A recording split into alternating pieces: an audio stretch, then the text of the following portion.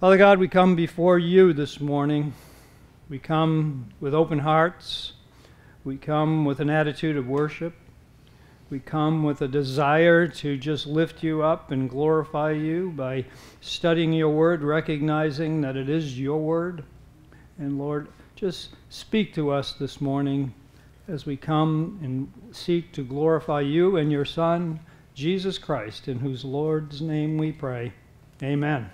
All right, well, we're going to continue uh, in Second Thessalonians. If you've been following uh, with me, with us, we're going to pick it up in chapter 2, verse 9 through 12. And uh, we've been talking about this lawless one, or the Antichrist, for oh, a couple of sessions now. And uh, we're going to continue that and look at a different aspect that Paul, or God, shares with us in Second Thessalonians that I think is important, especially as the time draws near. As the time draws near. Uh, so we're not caught off guard. And so that we are prepared as an individual and also as a body of Christ for what's about to happen. I want to now bring you to verse 9. I want to read 9 and 10. Um, remember, chapter 2 speaks an awful lot about the coming of Christ, and we look forward to that.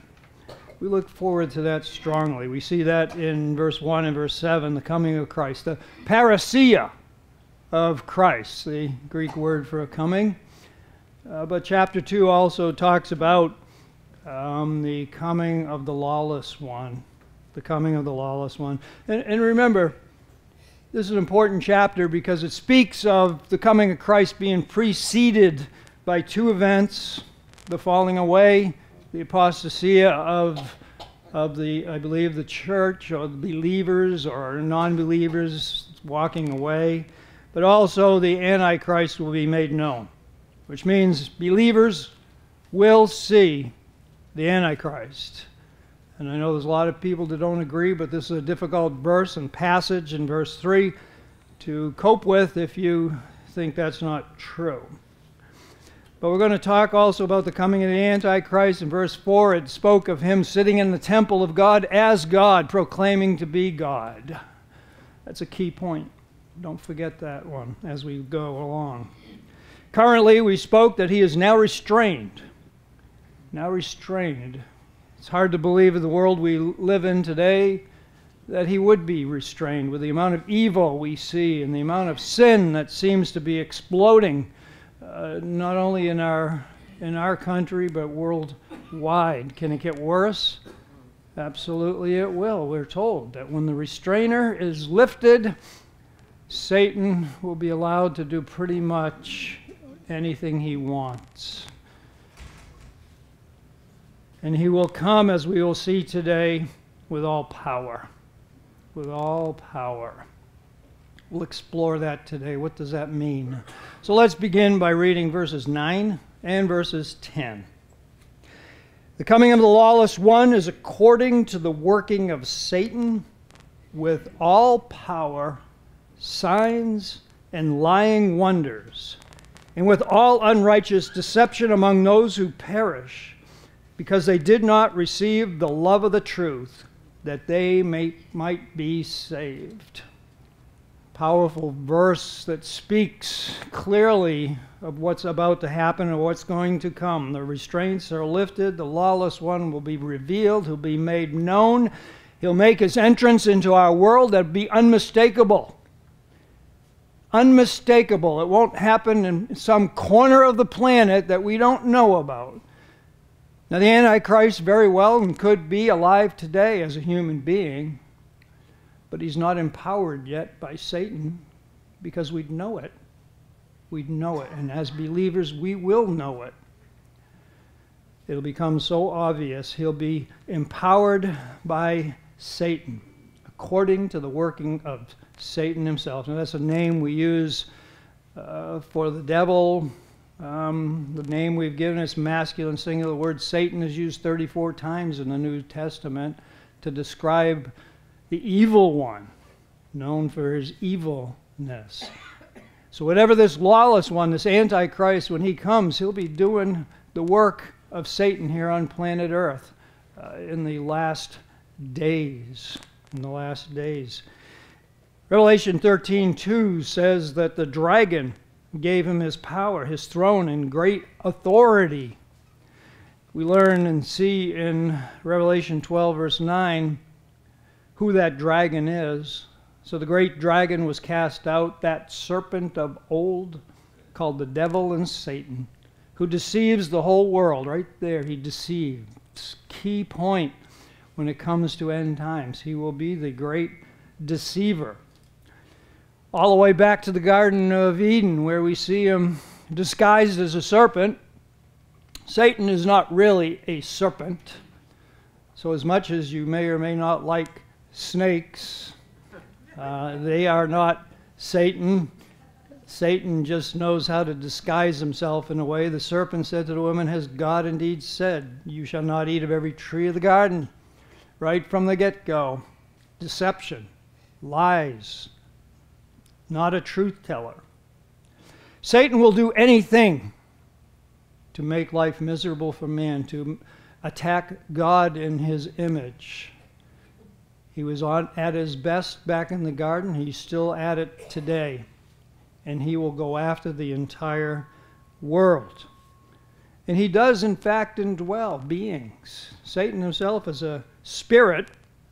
He's, he's a spirit. And here we have an example of him indwelling an animal, I guess, serpent, but he's also indwelt people. He's indwelt people. And if we look at Judas at the first coming of Christ, we have this almost alarming verse because we wonder why would God even allow Satan, the one he kicked out of heaven, to to uh, enter a person. But here it's clearly said, then Satan entered Judas, named Iscariot, who was numbered among the twelve. Not only did he enter a person, he entered the close inner circle of Christ. But he entered him to do his work. At that time, it was to betray him and hand him over to the Pharisees and the Jewish people and the Roman government to crucify Jesus Christ. Will he indwell the Antichrist? Is there a person around living in the world today that Satan has got his mark on and that intends to dwell in the same way, it seems reasonable to think that way. It seems scary to think that way. But God is going to allow Satan to do his will, and he will use a person, he will use a man to be his representative here on planet Earth, to do his evil his lawlessness, as it says. And Satan will do anything, pull out all stops, everything in his power to deceive the world. It's a moment in time that he's been waiting for for centuries and millennium to claim, put his claim on the earth. He's been held back, but that power, that time will come, and all wickedness and all evil will be unleashed in a way we can only imagine at this point. But as believers, we need to be prepared. People often say, Why are you studying Satan and the Antichrist? Because we want to be prepared. We're looking forward to the return of Christ for certain. He is our Savior, He is our end, and we do look forward to Him. But we do know this event has to happen first. Satan will use everything in his power. We see that in, in that verse. Look at verse 9. The coming of the lawless one is according to the working of Satan with all power. I don't want to just glance over that verse slowly, but quickly, I mean. But this power is a real power. It's not some magic game. God is going to allow Satan to have real power, supernatural power, beyond any power that we've ever seen on this planet from such an evil person. And so it won't just be the appearance, it'll be real. God gave us an insight into how this can happen in Job. And I'm just going to share with you a couple of things from Job to give you a sense of what kind of power Satan can actually have at that time. In Job chapter 1, verse 12, it says, And the Lord said to Satan, Behold, all that he has is in your power. Only do not lay a hand on the person. God has granted Satan the power over Job and his life. And then we see that expressed and played out in verse 15. Verse 15 says, When the Sabaeans raided them and took them away, the oxen, indeed they killed the servants with the edge of the sword, and I alone have escaped to tell you. Verse 17, While he was still speaking, another also came and said, The Chaldeans formed three bands, raided the camels, took them away, and killed the servants. What's that tell you about Satan? He has control over armies of the world. God gave him control to be able to direct the Sabaeans and the Chaldeans at that time to attack Job. Could it be, and probably will be, that God will allow Satan to do the same thing with the armies of the world today? Absolutely, why not? What power that is to be able to control the armies of the world, to do his will. Further on in Job, verse 16, look what it, it says. While he was still speaking, another also came and said, The fire of God fell from heaven and burned up the sheep and the servants and consumed them. Think about that. The fire of God. Now, now they attributed it to God, but who's God gave him permission? Satan has the power at this time to call down fire out of the heavens. Now, what will that look like in the end times? I don't know, but we have a similar verse in the New Testament says the same thing. This is real power. Real power that will be uh, given to Satan. Look at verse 19. And suddenly a great wind came from across the wilderness and struck the four corners of the house and fell on the young people, and they are dead. God's allowing Satan to control nature. The winds of the earth at that time are under his control to do the will of the evil one. So, this power that God is granting and allowing the Antichrist to have, according to the power of Satan, is a power to be reckoned with that will cause great harm, but it'll be supernatural power to do things that we don't have never seen. We have never seen anybody call fire down from heaven. We have never seen anyone control the winds to inflict punishment. Further on in Job chapter 2, it's verse 7, it says that he inflicted Job with painful sores and boils on his skin, so much he sat in the dust and scraped it off. He has the power to go after even God's righteous, as it says, righteous people the power to inflict physical pain, even upon, even upon those of the planet Earth. So don't discount the power that Satan will have at this time under the authority and permission of God Himself. It's part of the judgment of God on mankind that rejects Him. Continuing on in 2 Thessalonians chapter 2, he comes with all power he comes with signs. He comes with signs. These signs point to something as the object or the person or a person of interest. He will come with signs that point to that will point to himself and demonstrate who he is. These signs will declare who he is, and the world will know who he is. You're talking about the Antichrist, The Antichrist. We will know who he is because of the things that he does, the things that he says, the things that he represents, the power that he has. These will all point towards him as being the Antichrist, the lawless one, the one according to Satan. Signs have been used in the past. Jesus Christ, John was filled with signs that pointed to Christ as the Savior. If you remember, John the Baptist asked, sent somebody to Christ and said, Are you the one we're looking for? Well, Jesus Christ went on to point to the signs that he was doing. The lame leap, the blind see, the deaf hear. He pointed to signs. Well, that will be similar to what's going to happen, except Satan will also be pointing to himself through the lawless one as to who he is. It also says lying wonders there in that verse 9 all power, signs, and lying wonders. The wonders will be real, they won't be false. They'll be real wonders by real power, but they'll point to something other than God. They will be pointing to lies, to false teaching.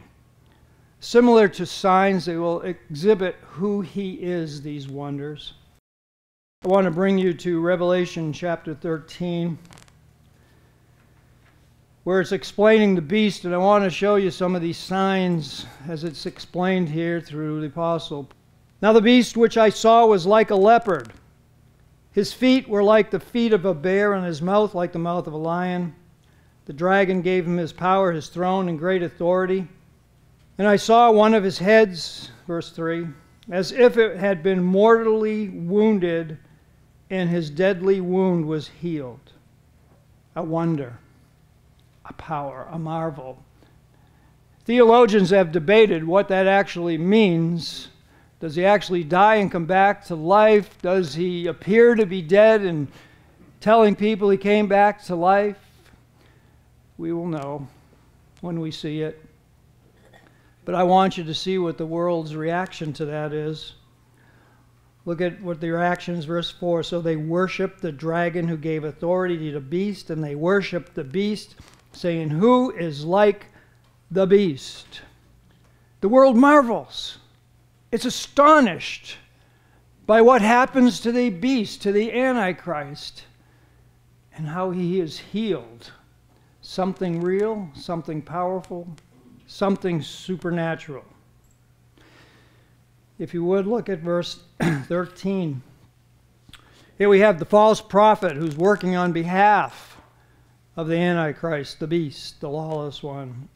Go to verse 13. He performs great signs, so that even makes fire come down from heaven on the earth in the sight of men. Does that sound familiar? So we'll see that fire in some form, shape, or way. Verse 14, and he deceives those who dwell in the earth by those signs which he was granted to do in the sight of the beast, telling those who dwell in the earth to make an image to the beast, who was wounded by the sword and lived. He was granted power to give breath to the image of the beast, that the image of the beast should both speak and cause as many as would not worship the image of the beast to be killed. There's a lot in that passage. I'm not going to go into depth as to what it all is, but we see things like the fire coming down from heaven. He was granted the power to be able to do this. There was an image made. Now, what is this image? We're not told what this image is. We can come up with various scenarios that might fit. First thought to me is we have some sort of artificial intelligence going on here, which is going at a rapid pace in our world today. But this image will be granted the granted power, and it will be speaking, and it will cause worship of the beast. These are powerful signs that as believers we will not be able to mistake them. We will know as believers what is going on in this world. The world will be deceived. Revelation 13:8 All who dwell on the earth will worship him. And the term dwell on the earth is specifically related to the unsaved people of the world, unbelievers. All who dwell on the earth. That term is not used of believers. Those who make their home on planet Earth will worship him, whose names have not been written in the book of life of the Lamb slain from the foundation of the world. The world will follow him. It'll go after him. They will see his power. They will see his signs. They will believe what the, what the Antichrist is saying. And they will follow after him with all miraculous and supernatural signs. Believers should not be deceived. Revelation, or excuse me, Matthew 24 24. For false Christs and false prophets will rise and show great signs and wonders to deceive if possible, even the elect or the saved. The saved should know who he is. Should not be any doubt who Satan is. We, we will not be surprised when we see these great signs and wonders put forth by the great deceiver, by the Antichrist. Look for them, see them,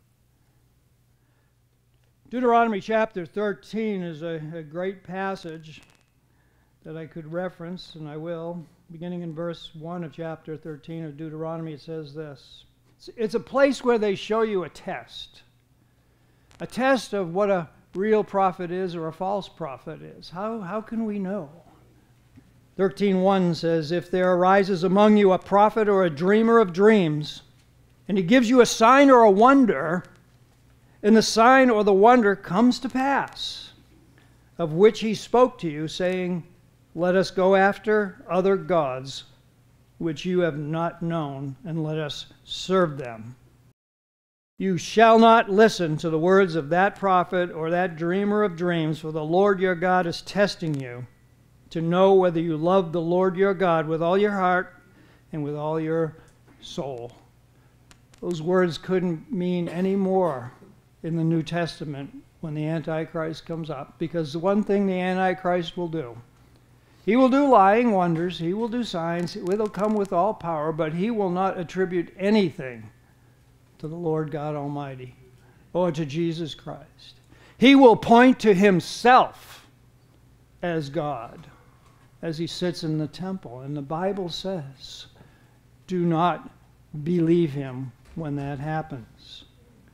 So believers should not be deceived when they see this. We are forewarned. We have been taught. But it will take great discernment because it says, if possible. Those words mean that it's going to be a very good imitation. And he's going to make every attempt to deceive us. He'll have the whole world going after them, all the unbelievers. And I pray that we will, as a body of Christ, be well aware of what's going on. So there will be a man who will come on the scene. He will be doing Satan's work with incredible and supernatural power with the intent to deceive the world. He will pull in the military powers of the world. He will have all power given to him by Satan and allowed by God. He will be the ultimate narcissist. It'll be all about him and drawing people to himself and away from God. Believers, don't be fooled. We have been warned, but we will need great discernment. I want to bring you to a passage in Hebrews chapter 5, verse 12 through 14. I think this is a very important passage because here it speaks about spiritual maturity. And as we look in our world today, we see nothing but light fluff being taught in our churches.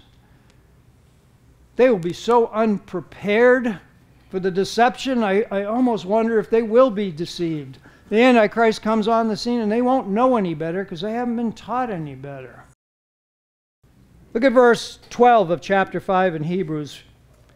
For though by this time you ought to be teachers, you need someone to teach you again the first principles of the oracles of God, and you have come to need milk and not solid food. For everyone who partakes only of milk is unskilled in the word of righteousness, for he's a babe.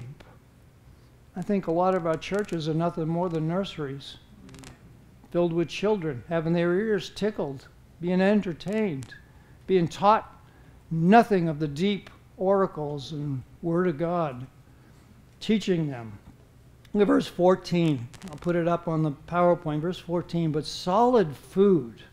This is, this is where we get into the meat. And, and I pray that Zion's Hope feeds nothing but solid food to the people not only here, but the people that watch the videos that it's solid food you sink your teeth into. We go beyond. It's important that we know who Jesus Christ is. Yes, it's important that we hold the Lord God, but it's important that we know as much as we can because we have the Word of God sitting in your laps and in front of us. Let us teach and commit ourselves to that. Solid food belongs to those who are full age, speaking of maturity.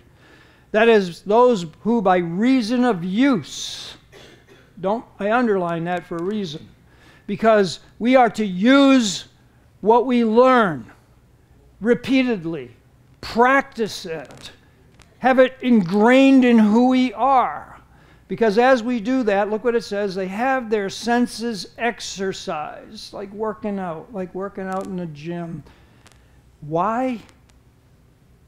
To discern both good and evil how important that will be when the Antichrist comes on the scene to deceive the world. We pray here at Zion's Hope that we are equipping people to be able to do this so that nobody is deceived and unprepared. Going back to now to Second Thessalonians. Still in verse 9, I, I, I want to just point something out here. Look at the end of verse 9. The coming of the lawless one is according to the working of Satan, all power, signs, and lying wonders, and with all unrighteous deception among those who perish. As believers, we could easily scoot by that highlighted part and not understand completely the significance and the passion that Paul has. Paul has used that verse. He uses perish to label unbelievers also in 2 Corinthians Corinthians. But he's labeling unbelievers as those who perish. Do you understand that the people, most of the world you walk by, drive by, talk to, they're perishing. What perish means to be lost, ruined, destroyed. One commentator said to devote or give over to eternal misery in hell. Do we look at unbelievers like that? Satan's coming for them. He wants them, he wants to seal their fate.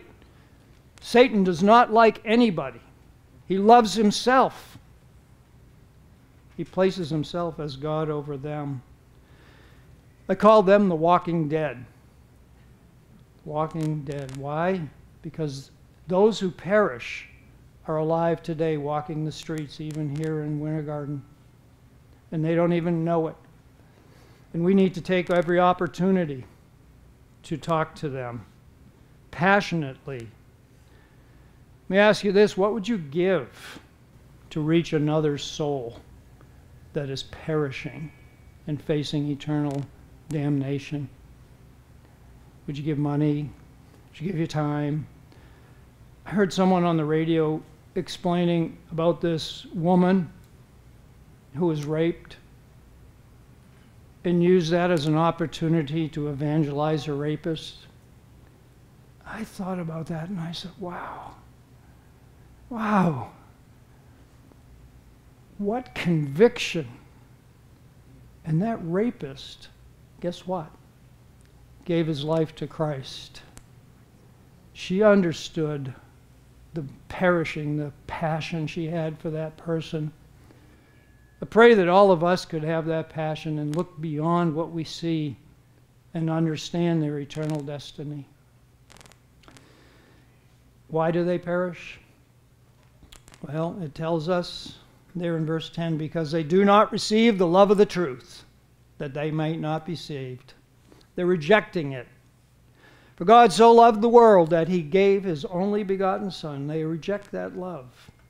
That whoever believes in him should not perish, but have everlasting life. We see it at football games, big signs, John 3:16. Sometimes we tend to just trivialize that verse, but it's important. We should take it to heart and continue to preach it. But those who perish reject it. They say, No, it's not for me. I don't want any of that stuff. Keep it to yourself. But we keep going because we love people. Come to verse 11. And here's where it gets a little, a lot of people struggle with this. Verse 11 and 12. For this reason, God will send them strong delusion that they should believe the lie, that they all may be condemned who did not believe the truth but had pleasure in unrighteousness. People struggle with this because here we see God's divine judgment being played out. Being played out for this reason. What reason? Because they rejected Him. Judgment can come upon people who are alive and walking in this world today. Judgment will come eternally at the white throne for unbelievers, for those who are perishing. But God may seal their fate while they're still alive here on earth. That's what this says. For this reason, God will send them a strong delusion. They are still alive in the end time. They are walking the planet that they should believe a lie. God is what I call permanently hardening an already hardened heart. God does not delight in condemning and perishing those. He's, its Bible says he's unwilling. But their failure to accept the truth, his love, may lead to a divine response here while they're still alive on planet Earth. But you have to understand, God is giving them exactly what they want. They are choosing. People, God send, sends people to hell, yes, but it's what they wanted. It's what they have hardened their heart against. It's their rejection of Him. Sometimes God does permanently harden a heart. We have seen examples of that. And maybe many of you are thinking of the Pharaoh in the Exodus. There are 13 verses that talk about a hardened heart in the Exodus. The first group of them says the Pharaoh hardened his heart. The Pharaoh hardened his heart. The heart of the Pharaoh grew hard. But if you look at the last group, those in the latter chapters, chapters 10, 11, God now has hardening the heart. What's happening? God is sealing his heart. It's like he says, okay, I've given you one chance after another to show you who I am. And you have rejected me to the point that you have already hardened your own heart against me. And thus God hardens his heart while he's still alive condemns him, judges him right there. And that, that will be the case in the end times when people harden their hearts against God. Romans chapter 1, verse 24, 26, 28, we see a phrase called, And God gave them over. And God gave them over to the desires. Here we see that God is hardening their hearts. Why? Because they're chasing after the things that are sinful, that are evil, and that God has condemned and God has reached to them. You have no excuse. I've showed you who I am. Yet you go after the things of the world. You go after the unrighteousness, the deceitfulness that the world can offer. There's a point in time. This is why it's scary verse. I've always heard people say, well, we always have till I have that last breath before I can be saved. That's not true. That's not true, not according to these verses. You may. I'm not saying that every person is going to have their fate sealed before they die. I will say their fate is sealed when they die, but their fate may be sealed. If you have hardened your heart so strongly against God, and God only knows where that point in time is, then you may be sealing your fate right now that you may never turn. From my point of view, from evangelism, I can't tell if that's happened. Can you? So we preach and we tell whomever, whoever. I don't care how much they reject God, we need to speak to them again and again and do our part. But we're not God. We're not going to unharden a hardened heart. But God at this time in Second Thessalonians says he's going to send a strong delusion, a strong deception in, in some versions of the Bible. Now, this is not a new concept. We go all the way back to Isaiah chapter 6, where he's preaching to a sinful nation. God calls him into the throne room, gives a vision of his glory, his holiness. And he says, Isaiah, I got a mission for you. Go speak to the people. And he said, Go and tell this people, keep on hearing, but do not understand. Keep on seeing, but do not perceive. Make the heart of this people dull, and their ears heavy, and shut their eyes, lest they see with their hearts, and hear with their ears, and understand with their heart, and return and be healed. God knew the nation of Israel had rejected him time and time and time again and had hardened their heart, and he knew that it was time for judgment and they were going to be cast into exile as a nation. It was time.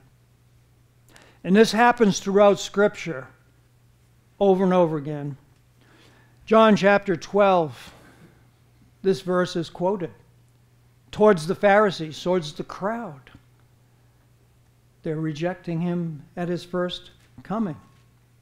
In Acts chapter 28, before the Acts of the Apostle closes, Paul quotes it to those Jews while he's there in Rome who are rejecting the gospel. He's pronouncing judgment on their hard hearts. And again, we see it in Romans chapter 11. And then we see it here not quoted in Second Thessalonians, but played out when God sends that delusion, that deception upon him. Because the world, the world at this point, has rejected God Almighty. And it says in Second Thessalonians, God sends this strong delusion, deception, that they should believe the lie. What's the lie? Theologians debated what's the lie that they're believing? Are they believing the lie of unrighteousness, of sin, and perhaps. But I think I gave it to you there, what I believe it is. It's verse 4. He sits as God in the temple of God, showing himself that he is God. Satan, through the Antichrist, is proclaiming himself to be God, and the world is believing it they are following the lie that he has propagated. He has wanted to be God from the day we can see in Scripture.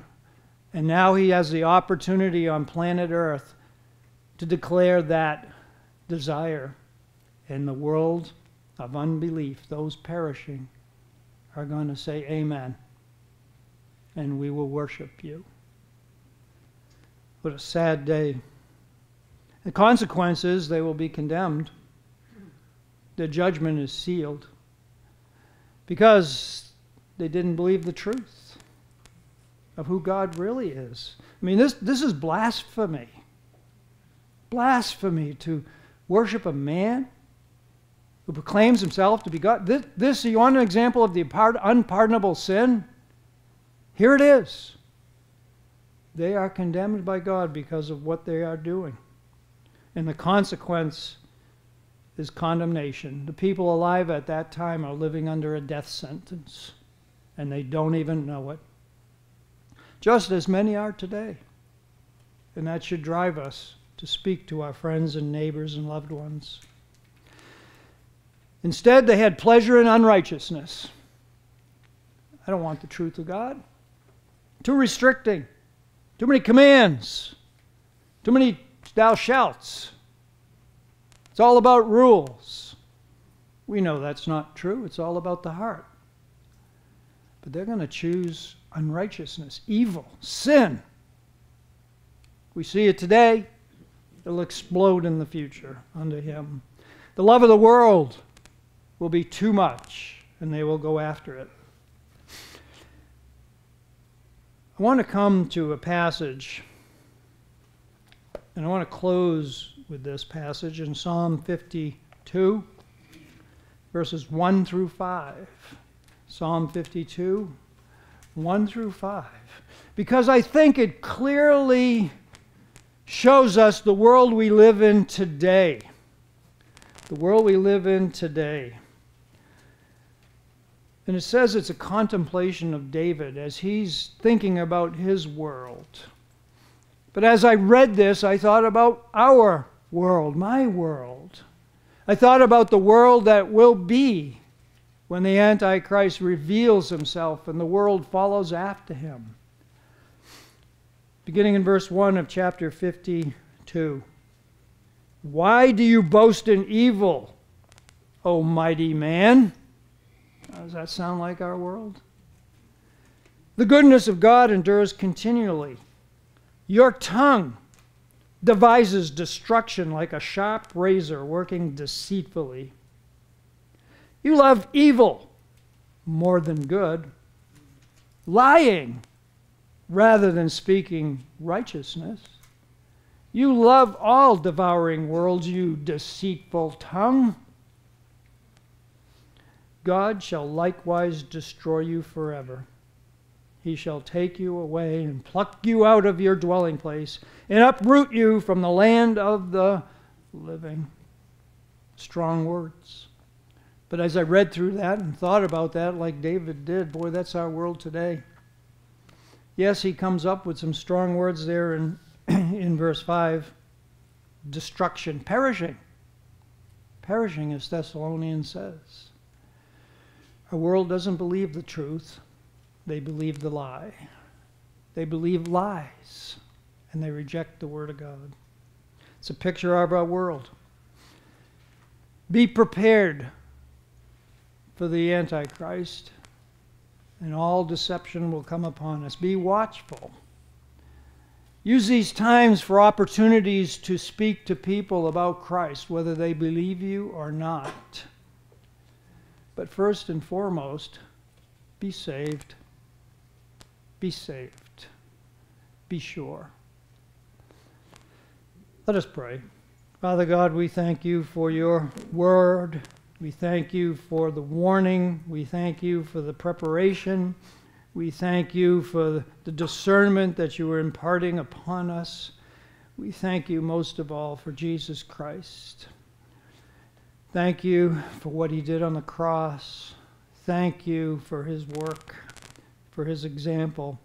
Now, Lord, empower us through the power of the Spirit to go out into an unsaved world that is perishing and speak the word of truth. Out of love for you, we do that. Through Christ our Lord. Amen.